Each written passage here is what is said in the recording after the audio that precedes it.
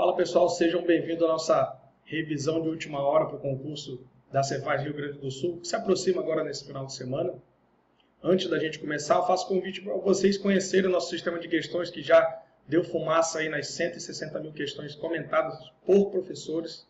Então, uma, uma ferramenta muito boa para quem está se preparando. E faço desde já o convite para que você assine o canal para que possa receber as notificações de vídeos, tanto da matéria, da nossa matéria preferida, Direito Administrativo, como de outras matérias também, e outros concursos que virão por aí, tá? É, indo agora para o nosso bate-papo, elegi alguns pontos principais aqui, para a gente trocar uma ideia, tá? É, não vou cair aqui em aprofundamentos muito, muito detalhados. Essa proposta é mais para você enquanto rever, faça uma autocrítica. Se alguns dos pontos que eu não coloquei aqui, muito provavelmente você precisa de uma revisão de última hora nesse assunto, certo? Antes da gente começar, vou fazer a ressalva que eventual bocejo aqui, vocês ignorem, porque esse vídeo está sendo gravado aí, já passamos da meia-noite. Então, semana corrida, mas é isso aí, é não, não é o que queremos, mas é o que temos. Vamos embora. Então, Vamos começar aí pela matéria introdutória. Opa, vamos voltar aqui. Princípios da administração pública. É... Nessa matéria a gente vai bater um papo. Nas outras vamos ter uma quantidade legal de esquemas, mas queria conduzir você no raciocínio comigo agora. É... Temos princípios implícitos e explícitos. Os explícitos são aqueles da Constituição Federal, artigo 37, seu caput. O famoso LIMP, legalidade, impessoalidade, moralidade, publicidade e eficiência. Tá? E os implícitos são os supra-princípios dito pela, pela doutrina, supra-princípios, que são a indisponibilidade do interesse público e a supremacia do interesse público. A supremacia, lembre dela é, pela própria palavra, certo? Supremacia é algo que está acima de alguma outra coisa. Então a supremacia vai impor um determinado desequilíbrio quando nós colocamos o interesse público comparado com o interesse particular. Então tenha esse significado de supremacia na sua cabeça. Um exemplo, contratos administrativos. Quando a gente tem lá os contratos administrativos, temos as cláusulas exorbitantes, na é verdade, que são cláusulas aí que é, são, por vezes, ilegais em contratos entre, entre particulares. Ah, isso demonstra como são legais em contratos administrativos, isso nos demonstra a supremacia do interesse público sobre o particular. Tá? A indisponibilidade do interesse público vai impor a nós que o interesse público não é disponível. Não é disponível no sentido de que ninguém dele poderá dispor, certo? O Estado, quando atua, ele deve ter como consequência o interesse público. O agente que atua em prol do Estado não pode abrir mão do interesse público. E o particular que eventualmente é, contrata, negocia com o Estado, também não pode desse interesse público se aproveitar. Ele é indisponível, ele não pode ser, digamos, transacionado, não pode ser utilizado por ninguém, nem com quem negocia com o Estado, nem por quem negocia em nome do Estado. Entrando agora nos princípios é, explícitos, muito rápido, certo, pessoal? Legalidade. A gente tem que diferenciar a legalidade dita normal da legalidade estrita, que é a legalidade em direito administrativo. A legalidade normal é aquilo, tudo que é, é não é proibido ao cidadão, ele pode fazer. Já a legalidade estrita diz que o servidor, o agente público, melhor dizendo, ele tem que andar na trilha da lei, seja por meios de ordens que ele deve cumprir da lei, ou seja, vinculação, atos vinculados, você deve estar lembrando e deve mesmo lembrar, ou por meio a quando a lei manda, mas dá opções de escolha. Ela confere discricionariedade. E você tem realmente que lembrar dos atos discricionários, hein, onde há uma determinada margem de escolha para o administrador. A impessoalidade também dita é, como princípio da finalidade, é verdade de forma minoritária, mas encontramos, ela vai informar que o Estado, ninguém se confunde com o Estado. O Estado atua seu próprio nome, mesmo que fazendo isso pelo, por meio de pessoas, por meio de agentes públicos. E uma das, da, um dos reflexos possíveis da impessoalidade é que quando o poder público está lidando com particulares, ele vê todos de forma igual, certo? Mas podemos ver também a, essa, esse, é, essa impessoalidade vista sob o prisma da isonomia vertical. Já na isonomia horizontal vai ser admitido tratamento diferenciado, pois os que diferentes forem poderão ser tratados de forma diferente, como por exemplo, vaga para deficientes, vaga para gestantes, sistema de cotas, sejam elas é, raciais ou econômicos, ou seja lá qualquer outro critério, sem entrar no mérito, tá? De, de forma alguma, só estou colocando, é, pontua, é, pontuando situações em que há de fato um tratamento diferenciado da administração com base em determinados critérios. Moralidade, costumo dizer que tanto quanto os livros que você lê, serão os conceitos de moralidade que você vai encontrar. Então vamos levar o conceito de, o conceito de moralidade como a atuação do agente público, obviamente dentro da lei, mas buscando o bem comum. Tá? Vamos ter isso em mente. Para nós é o suficiente. Pode encontrar também como uma atuação honesta, atuação de acordo com, com o senso comum, de acordo com a moral. Então, serão muitos os significados mas a gente fica com esse primeiro e não, é, não, não ponha cercas aí nesse, nesse, nesse princípio na hora de interpretá-lo durante a sua prova. Tá? É, veja se o conceito de moralidade encaixa com algo que é moralmente razoável para você. Essa é a dica que eu dou, porque por vezes a gente procura uma definição exata, a prova entrega uma determinada informação e você não consegue bater por causa de determinadas diferenças, mas a essência é a mesma. No princípio da moralidade, nós devemos raciocinar dessa forma. Tá? Publicidade, que é a regra. Por que, que é a regra? Estado democrático de direito, certo? No Estado democrático, o governo emana do povo e por ele deve ser exercido. Então, nada mais natural que o Estado publique todos os seus atos para que a sociedade possa fiscalizá-lo, não é verdade? Então, a publicidade dos atos será a regra, tudo bem? Sempre teremos publicidade? Não, teremos atos sigilosos, até mesmo baseado no interesse público. Sempre dou o exemplo de uma operação policial que, tá, que deve ser é, raciocinada, planejada em sigilo até que ela ocorra. Se a gente tiver a publicidade desses atos preparatórios, é, com certeza a, a operação policial estaria fadada ao fracasso. Tá? Por último, o princípio da eficiência. A gente deve apelar inicialmente ao significado da palavra. Eficiente é aqui, aquela pessoa, aquele mecanismo, aquela coisa que consegue atingir determinado resultado utilizando a menor quantidade possível de recursos. Tá? Então, o princípio da eficiência no serviço público a gente vê assim: atingir os resultados com um dispêndio menor de recursos. Tudo bem? Então, desculpa. E muito rapidinho aqui, fizemos uma passada geral pelos princípios implícitos e explícitos. Encerrando essa parte, eu trago para você que os princípios eles devem ser encarados como não por acaso a base do nosso ordenamento, porque até mesmo o legislador deve se pautar nesses princípios. Tudo bem? E por mais bobo que isso seja, isso já foi cobrado em prova. Tá? Uma outra, um outro raciocínio interessante sobre princípios é que geralmente a gente encontra em prova uma determinada situação e depois você tem hipóteses levantadas pelo, pelo examinador da aplicabilidade ou não de determinados princípios àquela situação hipotética colocada. Tá? Então, eu digo para você que você tem que ter em mente que os princípios nunca atuarão de forma excludente. Tá?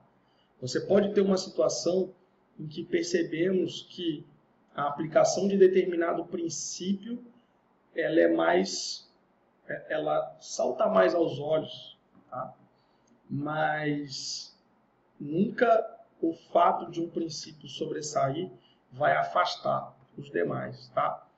É, um exemplo pode ser aqui, se eu, se você se, se der aí na prova com um exemplo de um hospital que está indo, né, caindo aos pedaços por uma falta de uma, um desperdício excessivo de, de, do dinheiro público. Qual princípio, hipoteticamente falando, aplicado a essa gestão tenderia a melhorar a situação desse hospital? De acordo com como se escreve o enunciado, ele pode te encaminhar para um ou para outro. Agora eu te encaminhei para o princípio da eficiência. Mas ele pode dizer que o gestor de determinado hospital obedeceu determinadas é, normativas e acabou por levar o, o, a situação financeira do hospital. Então, aí ele já está te conduzindo para a legalidade, porque ele está falando de obediência. Então, é, os princípios, você sempre vai ter que olhar no que está sendo colocado no enunciado e ver é, para onde o examinador está querendo te levar naquele aspecto. Porque sempre a gente vai poder numa determinada situação hipotética, ver em maior ou menor grau qualquer um dos princípios, mas a gente tem que ver o que, que o examinador está querendo te dizer nas entrelinhas. Tá? Então, pulando aí sobre o princípio, chegamos em tutela e autotutela. É, por mais simples que pareça, vejo questões tentando confundir tutela e autotutela. Então, autotutela, o que, que vai ser? Vai ser o poder que o Estado tem, o poder de ver que a administração tem, de rever os seus próprios atos, tá? seja por meio da revogação ou por meio da anulação. Isso tem respaldo em jurisprudência no próprio STF. Tá? A autotutela também em prova é cobrada como o Poder Judiciário deverá ser é, consultado, alguma coisa assim, deverá se manifestar. Não, justamente por causa do princípio da autotutela, que reza que a administração pode e deve cuidar de seus próprios atos, sem a necessidade de intervenção de outros poderes, principalmente o Poder Judiciário. Isso, no entanto, não afasta a possibilidade de análise do Poder Judiciário dos atos da administração, desde que provocado. Tá? Vou terminar a comparação de autotutela com tutela, para que a gente possa voltar um pouquinho nessa questão do Poder Judiciário e a administração. Tá? Então, falamos sobre a autotutela. Sobre a tutela, o que temos? Quando falamos em organização da administração pública, temos a administração direta. A administração direta cria entidades especializadas em determinadas atividades. Essas entidades são as entidades da administração indireta, que não estão à administração direta subordinadas. Estão vinculadas para fins de controle finalístico baseado na tutela. Nada mais é do que a administração direta tomando conta daquela, daquelas entidades que ela criou, mas sem poder impor nada, porque não há uma relação hierárquica. Isso é a tutela. Quando a gente fala de vinculação para fins de controle finalístico, nada mais é, eu uso esse termo propositalmente porque é, ele aparece em prova. Então, nada mais é do que ver se o fulano de tal está fazendo o que ele tem que fazer. Tá? Nada além disso.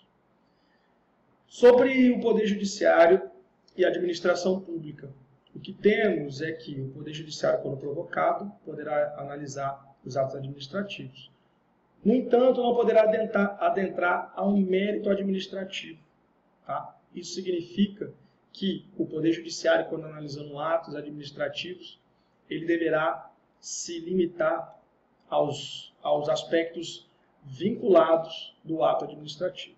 Tudo bem? Não pode adentrar ao mérito administrativo, que é motivo e objeto.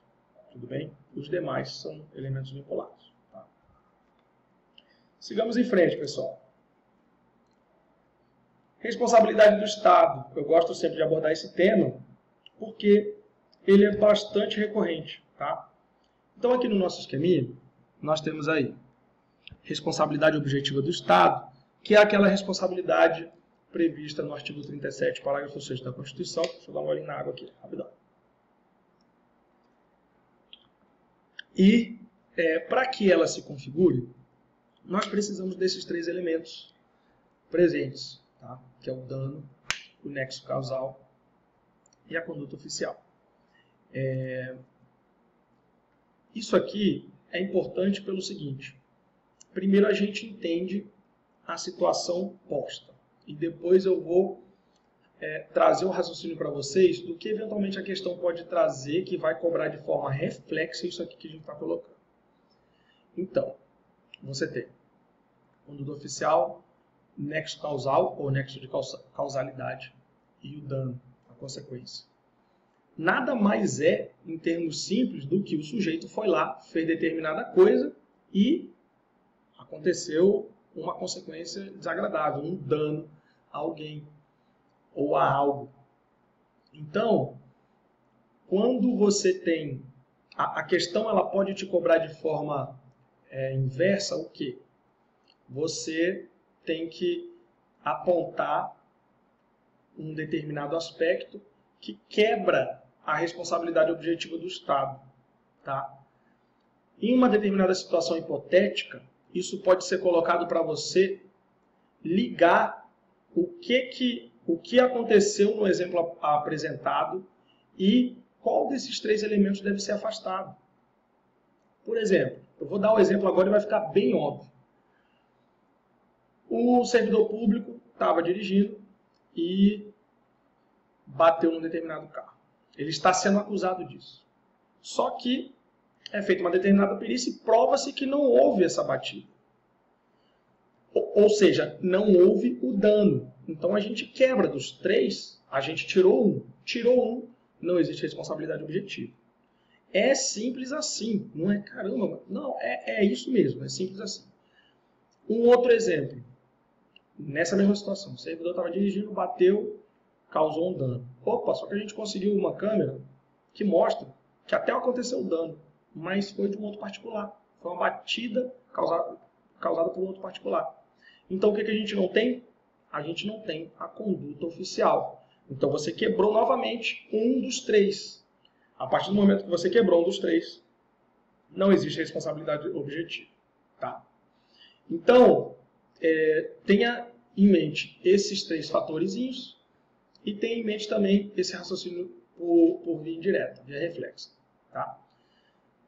A responsabilidade objetiva, nunca é demais lembrar, ela, a gente raciocina ela agora em contraponto à responsabilidade subjetiva. A responsabilidade subjetiva, é, ela está ligada ao, ao aspecto subjetivo, ao aspecto da ação, ao aspecto do sujeito. Como o sujeito pensava quando ele fez determinada coisa. Isso é responsabilidade subjetiva. A regra, a regra colocada no artigo 37, parágrafo 6 da Constituição, é que para entidades é, públicas né, e para particulares prestadores de serviço público, falando em termos simples, é que esse povo todo está submetido à responsabilidade objetiva. O que, que significa? Não me interessa a intenção do, do sujeito. Me interessa o que aconteceu. Não quero saber de sujeito, quero saber de objeto, quero saber de coisa, quero saber de consequência, quero saber de causa e consequência.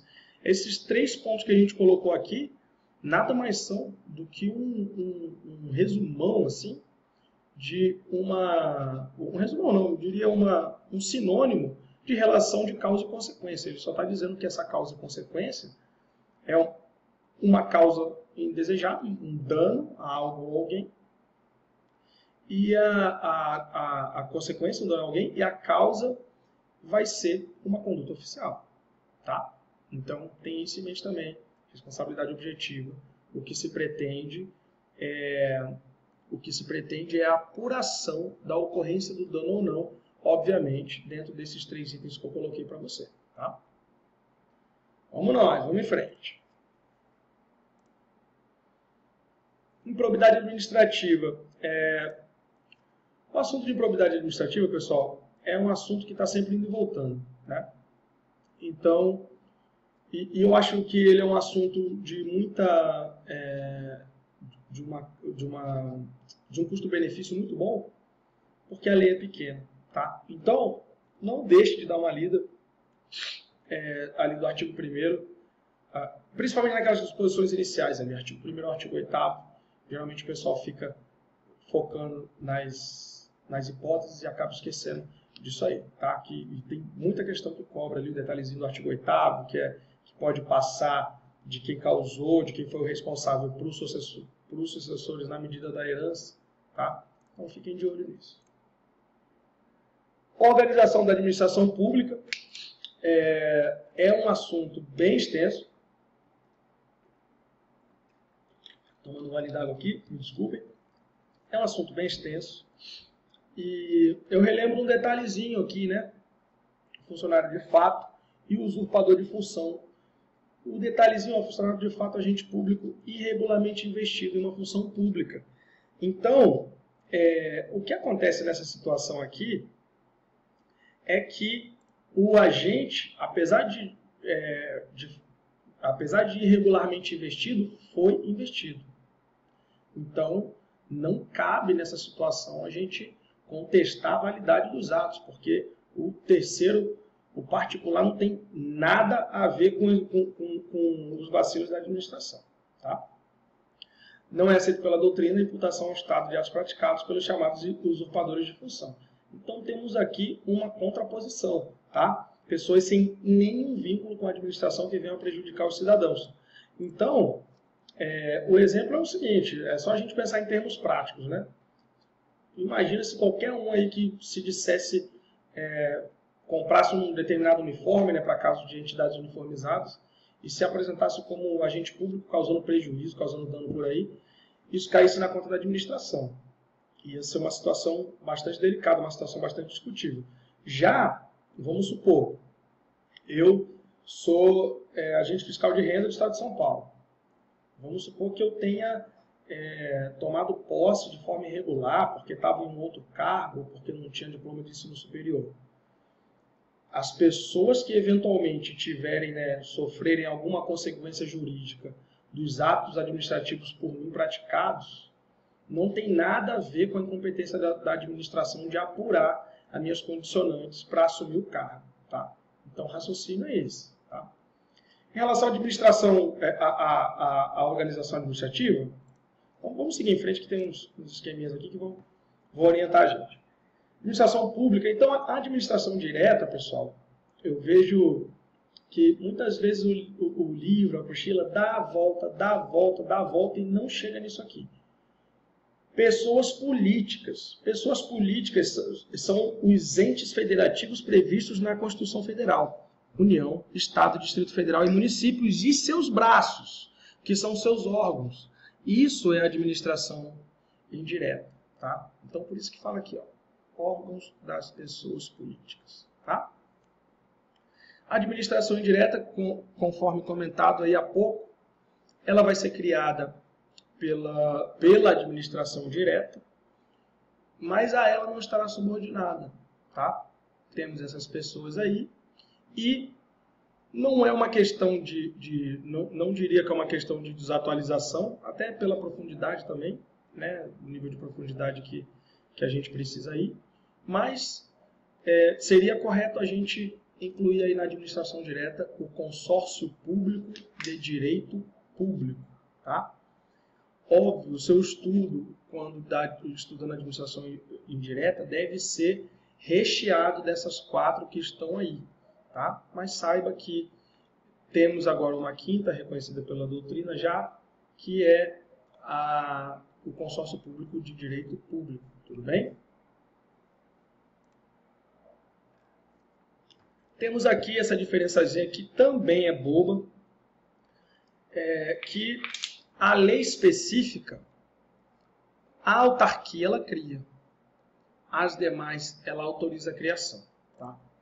Então, é, só para a gente quebrar um pouco aqui a, a dinâmica, se você Óbvio que agora talvez você nem tenha tempo para isso, mas eu vou jogar a ideia e você eventualmente pode até perceber, ter percebido isso já e não ter materializado esse pensamento. Você tem que ter em mente que para você passar, você não vai precisar acertar as questões difíceis. Não vai. É bom, é ótimo. Mas, fora uma ou outra prova que, que o examinador erra na mão, você vai ter aí 50%, 60% de questões fáceis. Óbvio, em um monte de matéria. E é isso que seleciona bem da verdade. Então, não despreze o conhecimento, que ele é um conhecimento mais basilar, porque a maioria das questões vão estar baseadas justamente nesses conceitos simples, entendimentos simples, tá?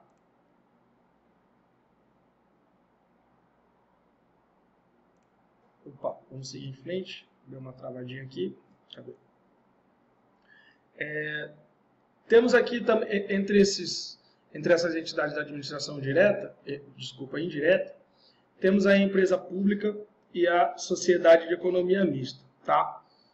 O que eu quero trazer para vocês aqui é a diferença entre, entre elas em relação ao capital votante, tá? Maioria de capital votante. Aqui está falando de federal, mas a gente vai tratar essa diferença como sendo capital público, ma maioria de capital público votante. Tudo bem? Se, então, concluindo o raciocínio, né? sociedade de economia mista, se você tiver uma maioria de capital público, ou seja, há um capital privado, mas que não é maioria, é sempre votante, é, falando ter, no termo votante, se o enunciado ignorar o votante, ou a questão ignorar o votante, não tem problema, mas é, é importante. Aí a gente tem a sociedade de economia mista. No caso da empresa pública, você tem o capital totalmente público, ainda que mais de um ente federativo certo? Então você pode ter uma empresa pública com 70% de capital da União e 30% de capital do Estado, tá? Não vai importar de quem é de fato esse capital. Poderes administrativos, outro assunto classicaço, né? Aquele o vintage que nunca sai da moda. Apesar de não termos muitas novidades em termos de, de jurisprudência, sempre está nos brindando com sua presença nas provas, né? Então, os poderes administrativos, esse primeiro item aí, instrumentais. Por que, que eles são instrumentais? Porque eles permitem, o, a, o exercício do poder, dos poderes administrativos, permite a administração alcançar seus objetivos, alcançar o um interesse público, certo? Veja só que a fiscalização, por exemplo, né, uma fiscalização num restaurante que seja, teremos aqui inúmeros, inúmeros exemplos de, de, de atos aí da administração que vão estar baseados nos poderes específicos. Nesse caso, na fiscalização, é poder de polícia.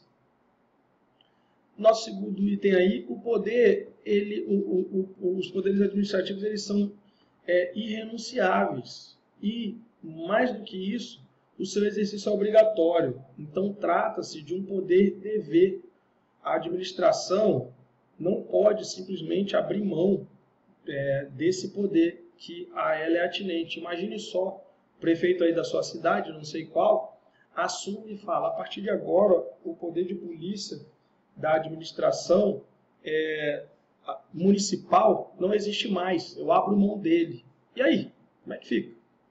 Complicado, né? Prerrogativas. Isso aqui vai conversar com o que falamos sobre é, supremacia do interesse público. Tá? O, o, os poderes administrativos, eles demonstram, por vezes, prerrogativas da administração sobre o particular, tá? ou melhor dizendo, sobre o cidadão, né? para ser um pouco mais amplo e premiar aí uma, uma quantidade maior de exemplos. Tá? Sigamos em frente.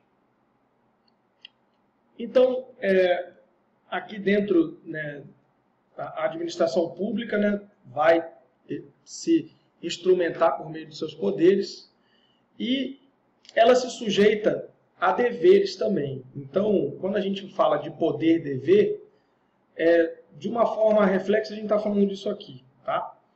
O agente público, ele na função pública vai ter aquelas determinadas prerrogativas que ele exerce, óbvio, sempre destacando isso, em nome do Estado, não é da pessoa, tá? Em pessoalidade.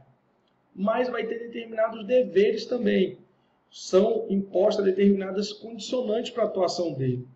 Então a gente pode passar a noite inteira aqui falando de condicionantes, a gente pode falar de, de ampla defesa e contraditório, a gente pode falar por que não, né, quando a gente fala de uma atividade fiscalizatória de é, proibição de recebimento de presentes e várias e várias outras situações. Tá? Então, há determinados deveres impostos de forma geral, não só à administração, mas especificamente aqueles que exercem é, o seu poder, óbvio sempre, óbvio, sempre em nome do Estado.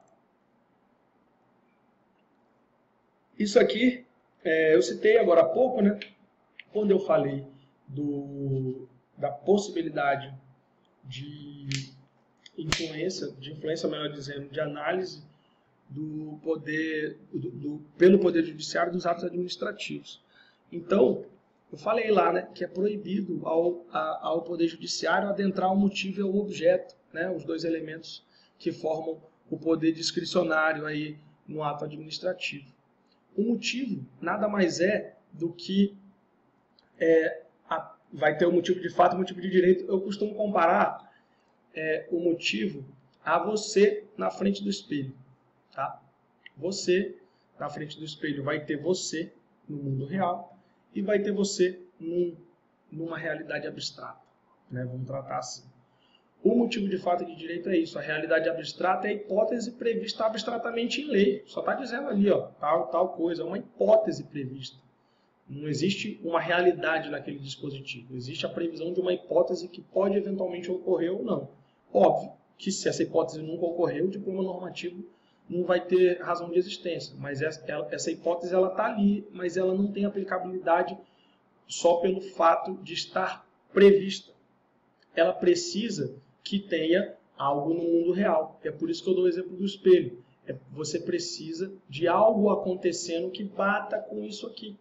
Tá? Então, o motivo é justamente isso: é algo acontecendo no mundo real que tem um espelho no, nesse mundo virtual de leis. Motivo de fato e motivo de direito. Encaixou, beleza, você tem um motivo redondinho. Né? A prática do ato administrativo já está respaldada em relação ao seu motivo. Tá? Aqui, ó, de direito, previsão legal abstrata, de fato, ocorrência dessa situação prevista. O objeto vai ser o, o, efeito jurídico imediato, né? vai ser o que causa no, a, a, algo ou alguém. Por exemplo, uma multa de trânsito. Que, que a multa de trânsito causa? O sujeito é multado, ele passa a ter uma dívida com um determinado ente público, não é verdade? Ele passa a dever um, uma quantia para alguém, eventualmente tem seus pontos aí computados para que né, caso história, ele vai enfrentar determinadas consequências. Então, o objeto é o que é causado imediatamente. Tá? Não confundir com, com a finalidade né, do ato, que vai ser o que se pretende com aquilo ali. Né? Isso não é o objeto jurídico. Tudo bem? O objeto jurídico é o que é causado pelo, pelo ato administrativo. E aqui temos elementos dos atos administrativos sempre vinculados competência, finalidade e forma. São cinco os elementos. Eu, eu poderia colocar um outro esqueminha aqui, não coloquei para não ficar muito bagunçado, mas motivo, objeto, competência, finalidade e forma. Tá? Esses aqui são vinculados, sempre vinculados. Então, é, você, quando, quando o Poder Judiciário ele é chamado a analisar os atos administrativos, ele, a sua análise recairá sobre isso aqui. Por que, que aqui está o sempre? Né? Porque isso aqui, mérito administrativo, ele é quando nós temos o que a gente está vendo aqui, ó, poder discricionário, né? que nesse aspecto aqui vai se confundir bastante com um ato discricionário. Quando a gente está vendo, estudando essas duas matérias, a gente está estudando conceitos bastante parecidos.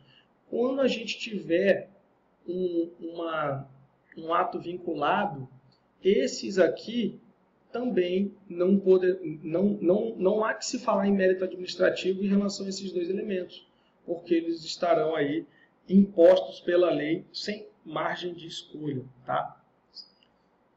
Sigamos em frente. Revisão dos atos administrativos. Falei disso aqui lá no começo, né, quando eu falei da autotutela. É, mas esse esquema aqui traz o conhecimento encarado de uma forma um pouquinho diferente, que é ele entra na, no que pode ser feito aí com, com, com a partir do ato de revisão dos atos administrativos. Tá? Traz também, como vocês podem ver aqui em cima, a gente está falando de poderes administrativos, então a gente está falando do poder hierárquico.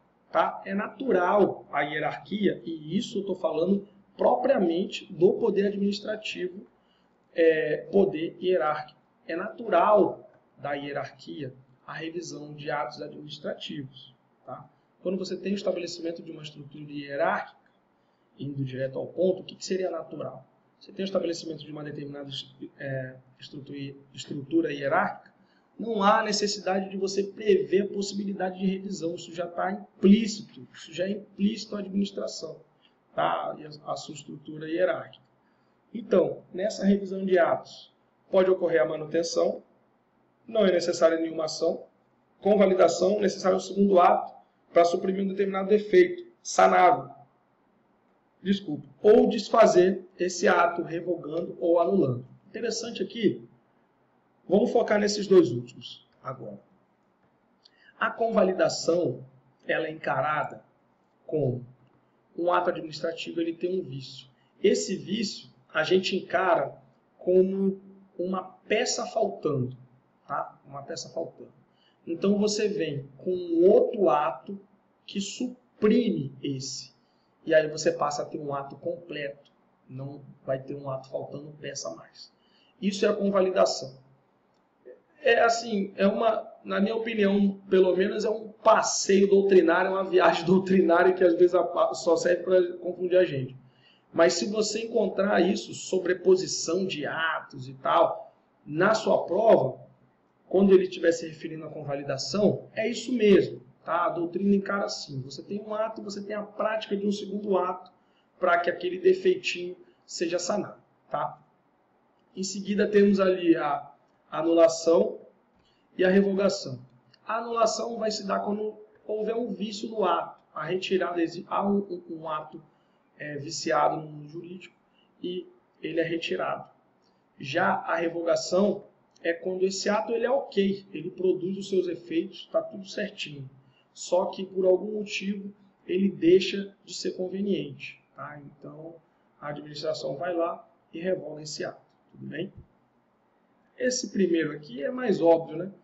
É em termos práticos, quando eu dou um ok no processo, que vai lá o meu chefe e dá uma olhada no processo, falar assim, opa, deixa eu ver se esse cara está trabalhando bem. Dá uma olhadinha e deixa rolar. Isso é uma, uma revisão de ato administrativo. Ele está olhando ali a minha decisão e está vendo se é isso mesmo, está vendo se ele concorda. Dentro dessa ideia, temos aí a revisão e a reconsideração muito simples, muito simples, tá, pessoal?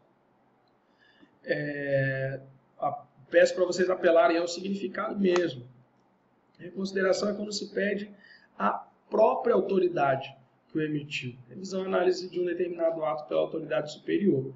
Então, como regra, teremos aí nos processos administrativos, quando a gente estuda as leis de processo administrativo, a gente vê isso no detalhe, é previsto lá o pedido de reconsideração, o pedido de revisão, será encaminhado e tal, autoridade imediatamente superior, no prazo de, a partir da ciência do ato, tal, tudo isso lá. Tá? É, então, levem essa diferença com vocês aí para o dia da prova também.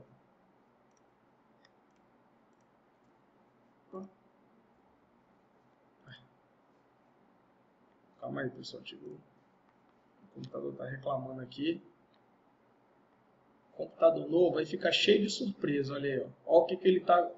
Olha o que, que esse bicho tá me aprontando. Pera aí, deixa eu dar uma pausa aqui. Então, peço desculpas aí pela interrupção. Para vocês deve ter sido rapidinho, né? Mas eu quase tive que pôr fogo aqui no quarto. Então, estávamos, estávamos nos vendo aí, paramos, na verdade, né, na reconsideração e revisão, né? Que a diferença é justamente um é a própria autoridade, é direcionado à própria autoridade, é tipo é um pedido de arrego para ela, geralmente porque não se tem para quem recorrer, né? Nos, as leis de processo administrativo geralmente trazem é, o pedido de reconsideração aí é, direcionado é, a várias autoridades, mas especialmente ao governador, né? Porque ao governador não, ao chefe do poder executivo porque acima dele, né, naquele ente federativo, não vai ter a quem recorrer em termos de poder executivo. Tá?